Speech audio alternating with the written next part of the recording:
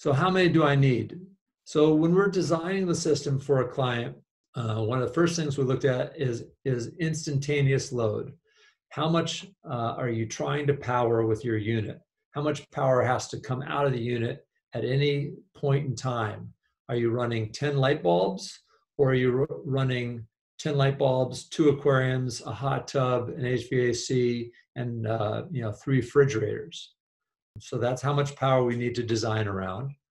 And I say worst case, that's kind of a the, the term we use is basically the toughest case. If you assume all the loads are on at the same time and we want to power them, we add them all up and we have to size the uh, number of Powerwalls based on that. The second big component in our design is how long do we want to power your, your system during an outage?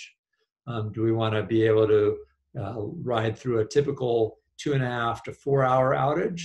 Or are you preparing for a longer ice storm, a utility outage? Out in California, they're dealing with wildfire outages.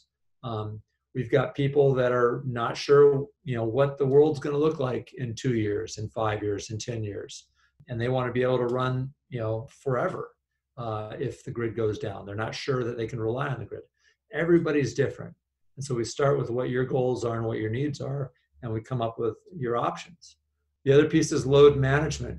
A lot of times we might come up with uh, a four pack system for someone, but then if they say, okay, I know that I can go home and I can turn off the power to the hot tub. I don't need the hot tub to be on during an extended power outage.